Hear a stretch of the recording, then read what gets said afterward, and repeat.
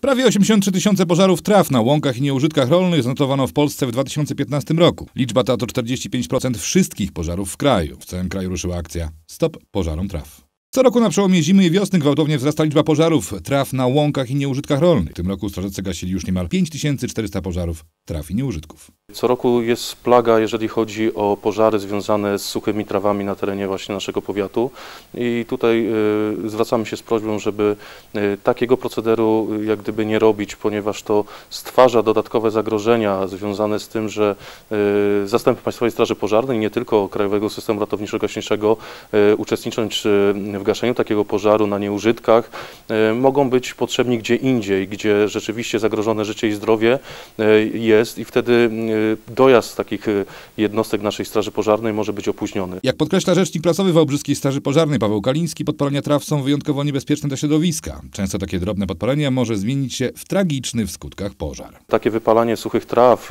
nie jest niczym dobrym dla środowiska, zarówno pod, z punktu widzenia degradacji euh, fauny i flory, która tam y, się znajduje w, y, na tych pastwiskach, na łąkach, jak również toksyczny dym, który się uwalnia, powoduje dodatkowe zagrożenia. Również mamy przypadki, kiedy taki pożar przechodzi na zabudowania, czy to altanki, czy za, za, za gospodarstwa domowe i wtedy te pożary już są o wiele groźniejsze. Dodatkowo też chcę wspomnieć o tym, że statystyki pokazują, że co roku na terenie kraju dochodzi niestety też do wypadków śmiertelnych związanych właśnie z pożarami suchych traw y, i zarośli. Osobom odpowiedzialnym za podpalenia grożą kary finansowe. I nie tylko. Taki pożar wywołany i osoba, która zostaje zlokalizowana przez organy ścigania, y, mogą y, ponieść konsekwencje związane z grzywną, jak również w przypadku ze- stworzenia realnego zagrożenia życia i zdrowia, już wtedy jest odpowiedzialność karna Pożary traw często wywołane są nieświadomie. Aby temu zapobiec, w ramach akcji Stop pożarom traw odbywają się spotkania z dziećmi i młodzieżą.